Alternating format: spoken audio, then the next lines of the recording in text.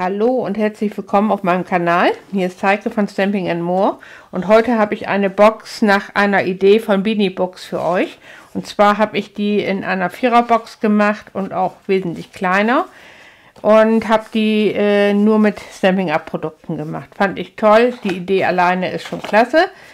Und ich habe da natürlich auch eine Anleitung fertig gemacht. So, und ähm, hier sind die einzelnen Boxen. Die haben Maß von 5 x 5 auf 5 hoch und dann eben halt oben wie ein Milchkarton. Da passt natürlich, wie ihr seht, eine Menge rein. Könnte man gut zum Konfirmation, zum Geburtstag verschenken, weil da passt wirklich viel rein. So, die habe ich gemacht in der Variante Minz, Makrone und Marineblau. Finde ich sehr schön. Das Designerpapier ist aus der Celebration. Das gibt es leider nicht mehr, aber da kann man sehr gut Reste verbrauchen. So, ähm, ich hoffe, ich habe jetzt nicht, ich knack jetzt nicht zu doll, weil ich wieder ans Mikrofon gekommen bin. Irgendwie werden wir beide, glaube ich, keine Freunde. So, das ist die Anleitung für dieses Unterteil. Und hier ist die Anleitung für die Milchkartons und auch für den Henkel, für die Tragebox. Ich arbeite wieder Minzmakrone und Magenta Rot. Und wir brauchen pro Farbe von Magenta Rot anderthalb Blattfarbkarton und hier brauchen wir zwei Blattfarbkarton. Warum, zeige ich euch. So, jetzt machen wir erstmal eben das Unterteil fertig. Das ist 18,5 x 18,5.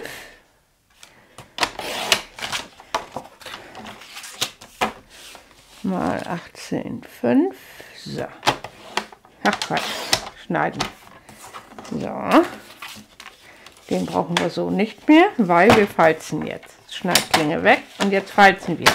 Ringsrum bei 2 cm. Na, der will nicht. Irgendwie habe ich da heute meine Probleme mit. So, erstmal bei 2. Das ist eigentlich relativ schnell gemacht.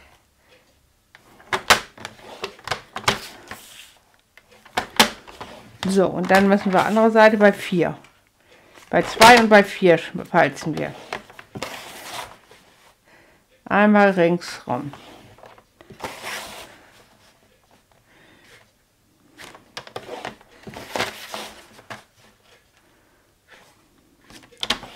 So, und das war das.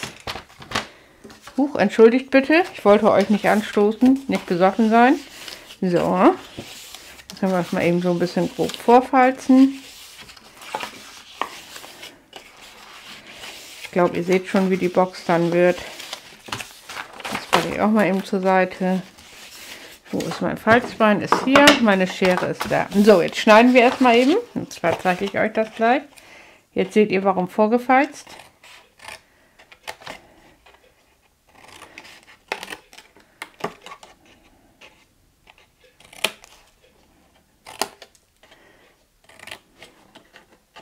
Immer, ich schräge das immer leicht an, dann ist es besser beim nachher verkleben.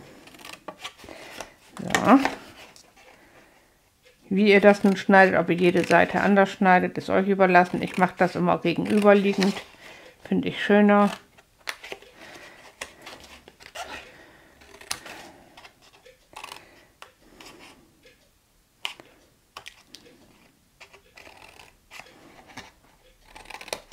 So.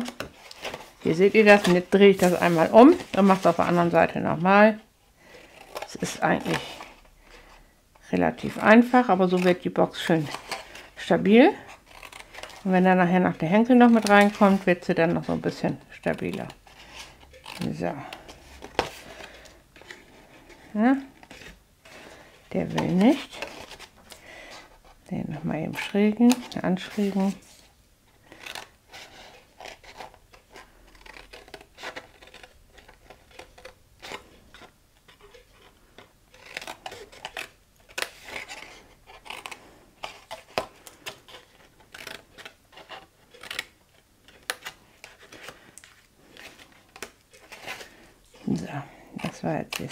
Teil der Box, wo die, die mit dem Milchkarton reinkommt. Wie gesagt, ihr bekommt von mir eine Anleitung. Die habe ich auch selber erstellt. Die Maße sind alle von mir. So, jetzt falte ich den nochmal eben nach.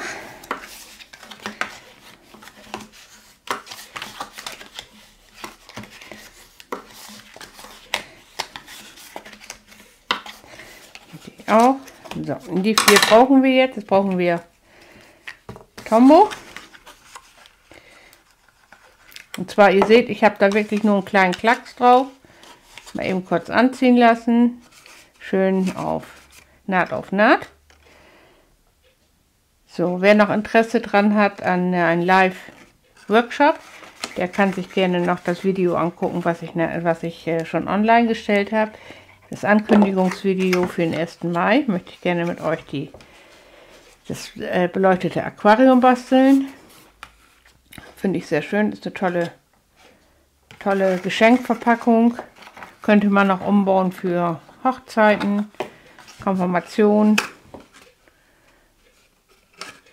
Wie gesagt, schaut euch das Video an, was ich dann äh, davor vor diesem gepostet habe, dann äh, seht ihr das. So.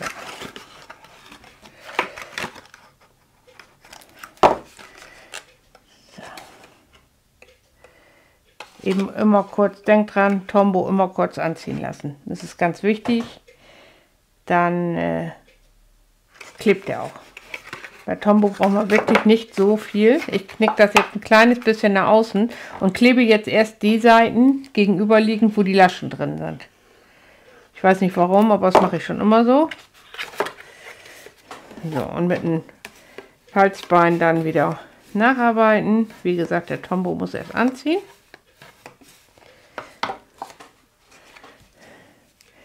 Hier genauso.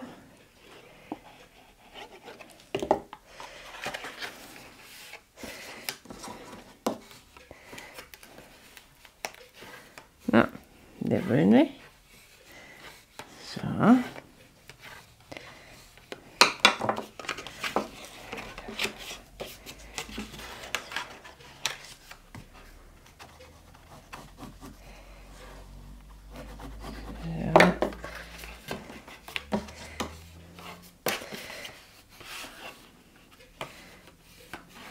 Das ist immer das, was am längsten dauert, weil das muss anziehen.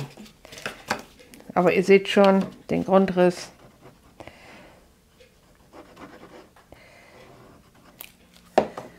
Ja.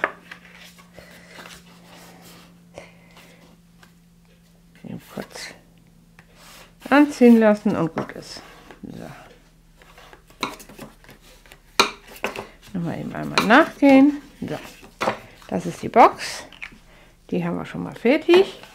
Was ich jetzt noch mache, ich weiß nicht, ob ihr das gesehen habt, hier habe ich noch ein Band in Minzmakrone rumgemacht. Ich weiß gar nicht, ob das überhaupt noch aktuell ist, weil ich hatte, ich habe so viel Bänder und ich muss mal langsam anfangen, meine Bänder zu verarbeiten.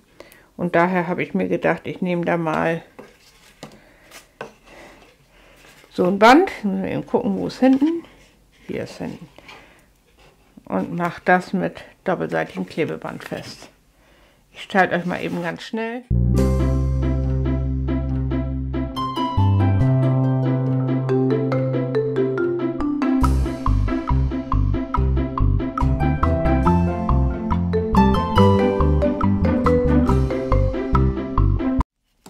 So, was wir hier machen, ist mal eben am Ende machen wir zwei so schmale Stücke rauf. Dann können wir das auch noch befestigen. Und so haben wir unsere Deko hoch für die Box auch fertig. Ach, da ist sie. Gerade sagen, wo haben wir den denn gelassen? So.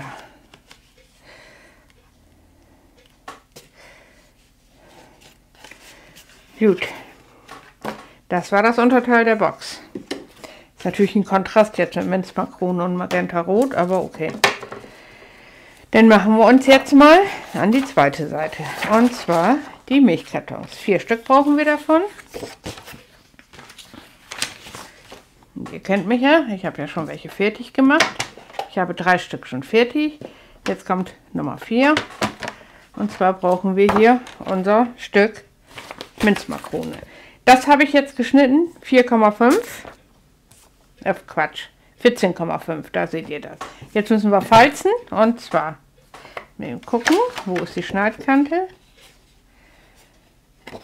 Gibt es nicht. Weil ich möchte natürlich die saubere Kante oben haben. Das ist hier. So, 1 cm.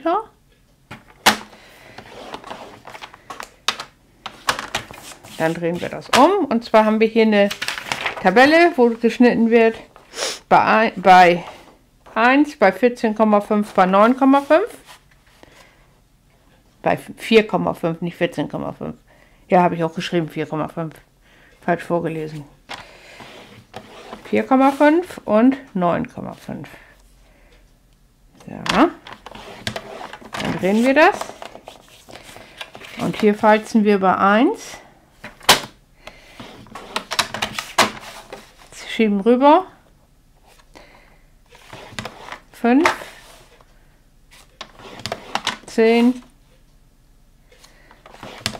15. So, jetzt schiebe ich euch jetzt mal eben ganz nach oben. Die anderen Boxen mal eben wegpacken. Weil, jetzt schneide ich noch mal eben. Ich bin ja von Haus aus faul. Ich hoffe, das könnt ihr sehen. Und zwar, hier habe ich ja die Falzlinien und bis zu dieser ersten nach oben muss geschnitten werden. Zeige ich euch gleich warum. Und wir können ja anhand dieser Nase genau sehen, wo wir schneiden. Seht ihr, wie schön sauber das geht? Sauber und einfach. Das ist so toll mit dem Schneid, mit dem Falzbrett. So. Das war das. Eben meine Beschreibung wieder hochholen. Und zwar, wie ihr hier in der Beschreibung seht, das gestreifte, dieses gestrichelte, das wird weggeschnitten. Das schneide ich jetzt weg, denn das brauchen wir nicht. So, was wir jetzt noch machen müssen, und zwar hier oben, die Einkerbung, die habe ich nämlich jetzt wieder vergessen, und zwar bei, steht hier auch drin, bei 7,5 und 17,5. So, 7,5. So, und die machen wir wirklich nur bis zur ersten. So, und jetzt muss ich das doch auch machen, weil ich brauche 17,5. Und wir brauchen auch gleich mal eben unser Falzbein und Lineal.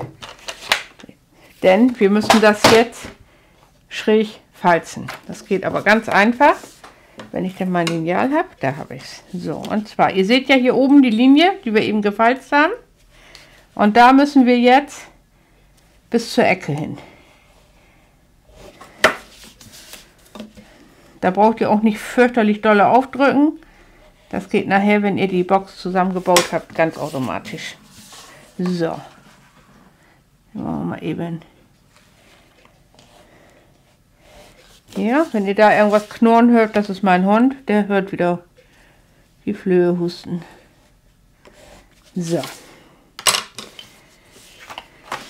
Das heißt, ich kann schon mal falzen. Wir machen gleich aber, bevor wir es zusammenbauen, erstmal eben die Deko drauf. Das obere wird genau entgegengesetzt gefalzt, nur zur Info, weil das ist natürlich das Teil hier oben. So. Da wird gleich Klebeband drauf gemacht und hier kommt dann auch gleich die Deko schon mal rauf, bevor wir es zusammenkleben. So, doppelseitiges Klebeband. Man kann es auch mit Tombow machen, aber ich mache das immer gerne mit dem doppelseitigen. Das ist immer sehr schön. So. So, dann brauchen wir jetzt unser Dekopapier, Designerpapier. Ich habe das schon mal zugeschnitten und zwar habe ich jetzt vier Stücke, viereinhalb mal viereinhalb. Dann gucken wir rum. Ja, so rum denke ich mal ist besser. Nö, den machen wir dahin. Und den machen wir dahin. So, Kleber brauchen wir.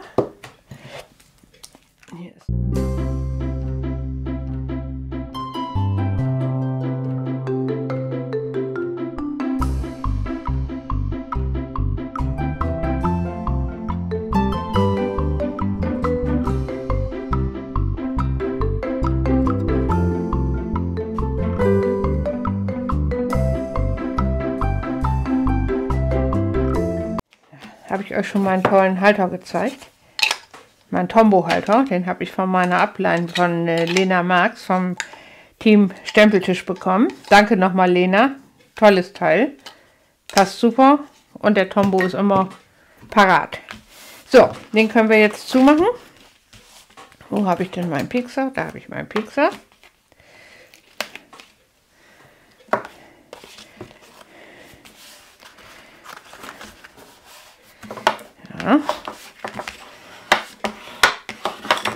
Wenn der hier etwas übersteht, ist nicht schlimm, das könnt ihr so abschneiden.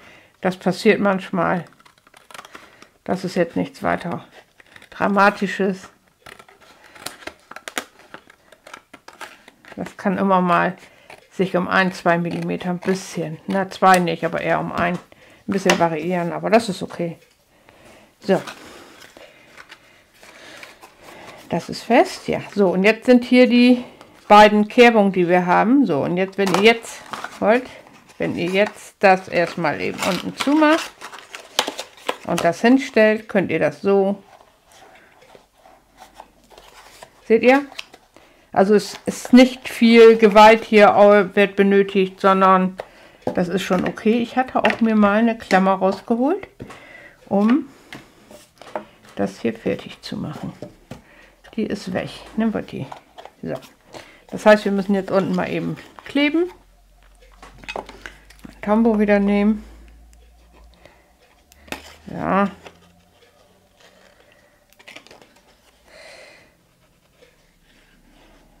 Okay. Das war's.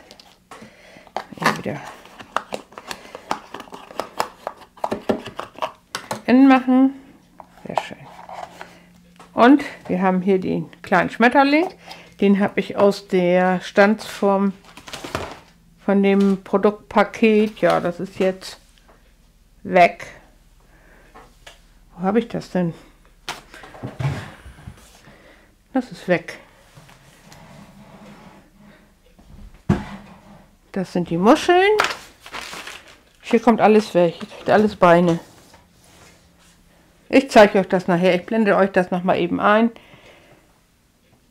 Hm, das finde ich jetzt ja echt komisch, dass das jetzt auch weg ist. Die, die Klammer ist weg, das Stempelset ist weg. Gut, ihr seht, also bei mir ist das auch alles nicht so, wie es sein soll. So, hier habe ich wirklich jetzt nur in der Mitte ein bisschen Kleber drauf gemacht. Müssen wir eben gucken. Dann kommt der jetzt so. So. Die können wir schon mal reinpacken. Uns fehlt jetzt gleich noch der Halter. Den werden wir gleich noch fertig machen. Und eben der Spruch. So, ne, andersrum. So, da seht ihr das schon mal.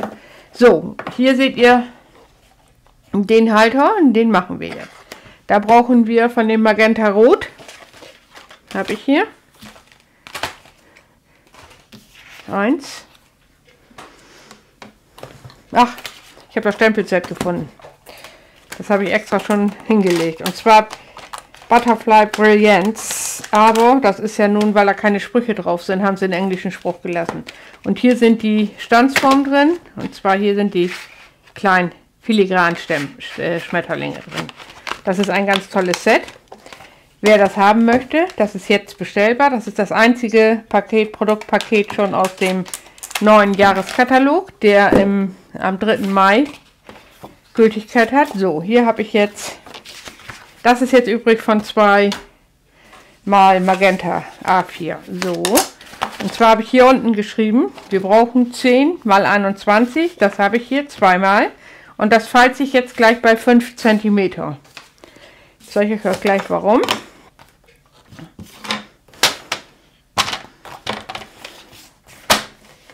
Mal 5 cm. Einmal.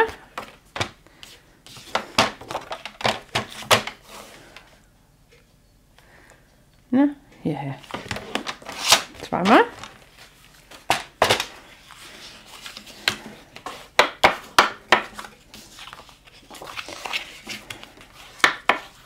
So, und zwar,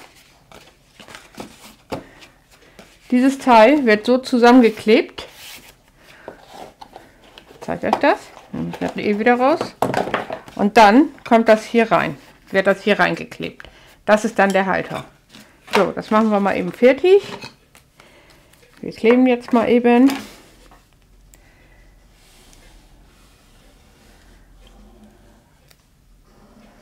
Huch.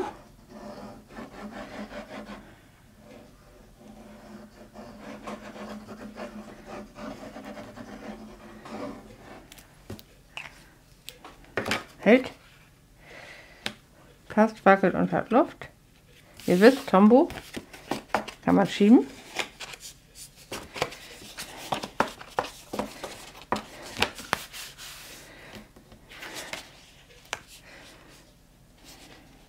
Ja. Ihr seht dadurch, dass das zwei sind, ist das natürlich super. So, was wir jetzt noch brauchen, kein Kleber. Hier habe ich da einen Griff drin und da habe ich mit den, oh, da sind sie, lagenweisen, nee, bestickte Rechtecke. Da habe ich mitgearbeitet und zwar, ich glaube, das ist dieser hier. Ja, der ist das. Es ist jetzt zweilagig mit den Stanzen. Das wird jetzt so ein bisschen, hm, ja, ich muss sie erstmal eben aufräumen. Ich komme da gar nicht ran an meine Stanzmaschine, weil das alles vollgepackt ist. So, dann wollen wir das jetzt mal eben hier rauflegen. Ja. Nein, ich habe hier Ihr seht, die Ecken abgerundet. Das mache ich jetzt auch mal eben vorher. Ist doch ganz schön mit meinem Eckenabrunder. Das ist von der Crocodile. Nee, der nicht. Der. Nee, doch die andere Seite. So, und zwar könnt ihr das hier sehen. Einmal. Zweimal. Und jetzt muss man eben hier so ein bisschen, ja, jetzt machen wir den hier rein und so ein bisschen, dass da, da und da immer der gleiche Abstand ist. Ich versuche es zumindest. Und mache es ein bisschen weiter in der Mitte. Ich versuche es hier auch, weil ein bisschen mehr Kraft dann eventuell ist. Hoffe ich jedenfalls. Ja. Wobei das nachher gar nicht auffällt. Ich muss mal eben meinen Tisch hierher schieben.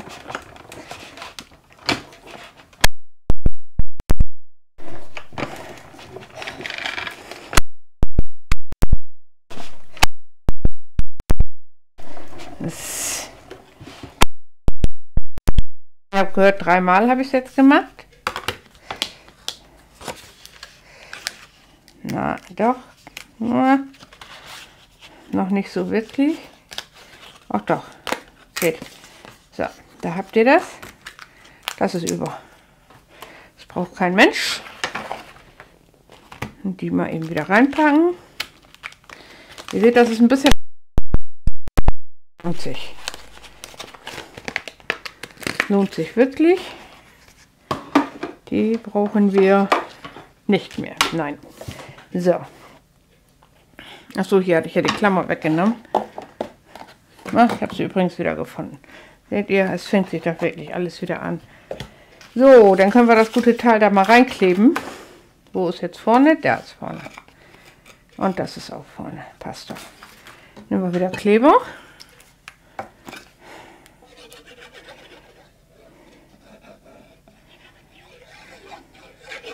Da bin ich ein bisschen großzügig, weil ich möchte ja nicht, dass das wieder da rausgeht. So, und das ist hier unten jetzt 10 mal 10 und die Box ist ein bisschen größer. Somit könnt ihr das so ein bisschen mithüllen.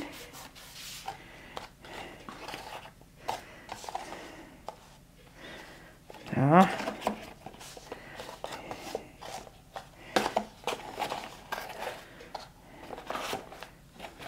Klasse.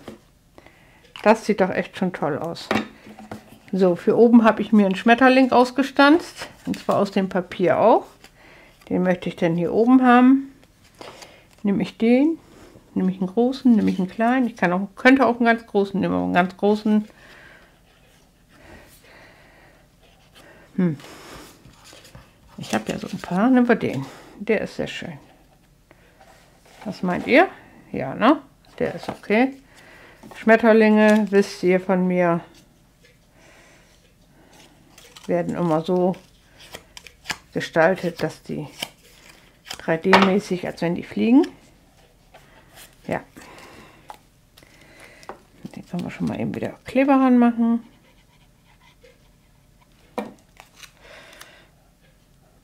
Ja. Auf der anderen Seite können wir den anderen halt nicht nehmen. Jo.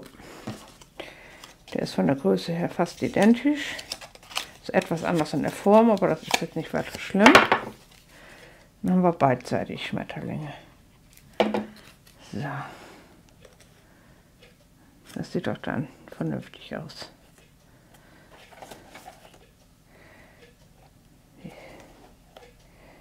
Ja, so. Wir brauchen jetzt noch den Spruch. Und zwar habe ich hier genommen ein kleiner gute Laune Gruß. Fand ich eigentlich sehr schön. Der ist aus dem äh, Set Gute Laune Gruß. Und zwar nur den Spruch. Kleiner gute Laune Gruß. Hier habe ich das. So, jetzt brauchen wir Flüsterweiß, noch einen Rest. Mal gucken, haben wir hier, oder Grundweiß. Ich arbeite eigentlich mit beiden mittlerweile. Irgendwie finde ich den Unterschied nicht wirklich. Ach so, nee, wir stempeln erstmal. Würde ich jetzt mal sagen. So, womit stempeln wir? Farbmäßig. Ich würde sagen Anthrazit. Basic Gray, Anthrazitgrau. Oh, wir sind jetzt schon gleich eine halbe Stunde online. Das ist ein langes Video. So. Ich glaube, ich habe jetzt auf den Kopf gestempelt. Jo.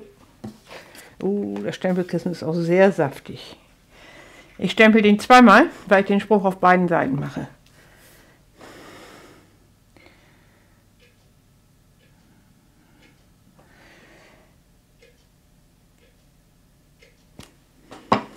So. Jo. Den schneiden wir jetzt. Und dann brauchen wir auch diese Reste von Minzmakrone und Magenta Rot. Ich zeige euch gleich warum. So. Hier mal eben so ein bisschen abschneiden. Das hatte ich 8 cm. Ja, das passt.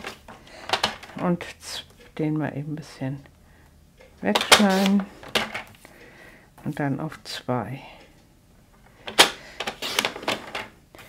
Der ist, der hat ein bisschen mehr. Aber den mal eben so rum noch. Das ist auch zwei. So. Das heißt, der ist jetzt 2 mal 8.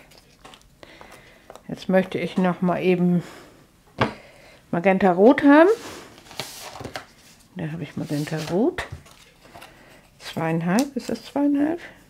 Jo. Das heißt 8,5 cm andersrum. Ne, ist doch richtig. 8,5. Zweimal. Ja. Den kleben wir dann da drauf und dann kommt gleich noch mal eben einmal Minzmakrone. Dann haben wir alle Farben, die wir hier verarbeitet haben, drauf. Dazu muss ich jetzt aber erstmal eben Minzmakrone holen. Aber da haben wir mehr als genug Reste. Das heißt 3 cm. Ich habe immer einen halben Zentimeter jetzt mehr genommen. Mal 9. Und dann sollte es eigentlich passen.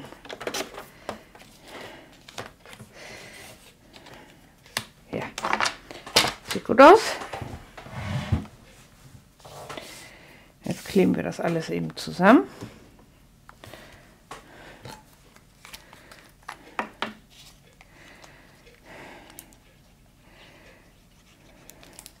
Und dann haben wir auch gleich die Box fertig. Wir noch ein bisschen Bling Bling machen, müssen wir aber nicht.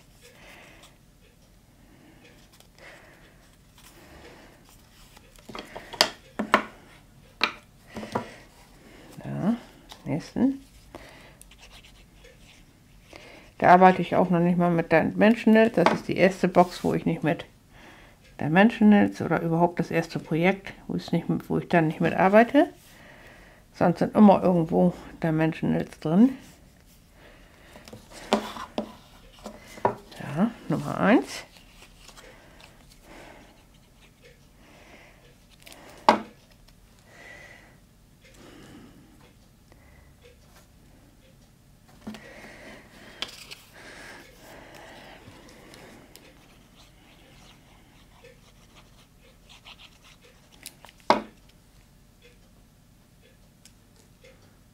Nummer 2. So.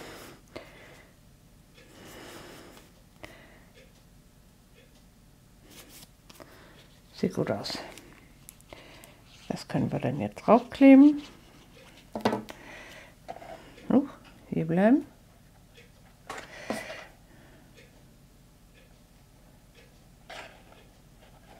Na, gerade kann jeder, ne? War das so, oder?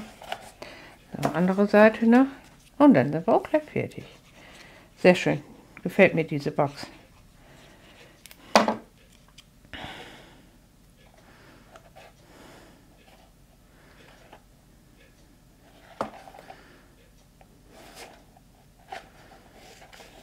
Ja.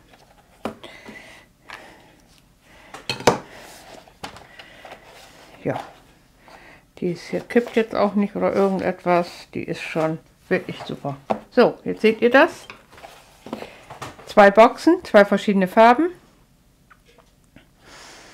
Klasse, oder? Und da kann man echt was mit anfangen, weil die sind auch sehr stabil. Die könnte man auch für Weihnachten machen, für die vier Adventssonntage. Wäre auch eine Idee. Wenn man keinen Kalender für 24 Projekte machen will, sondern wirklich nur einen mit 24 Sonntage. So, das war meine Idee. Ich hoffe, die hat euch gefallen. Wie gesagt, die PDF-Anleitung findet ihr auf meinem Blog. Da könnt ihr euch die runterladen. Und ich wünsche euch allen noch eine schöne Zeit. Seid kreativ, bleibt gesund und wir sehen uns beim nächsten Video. Tschüss.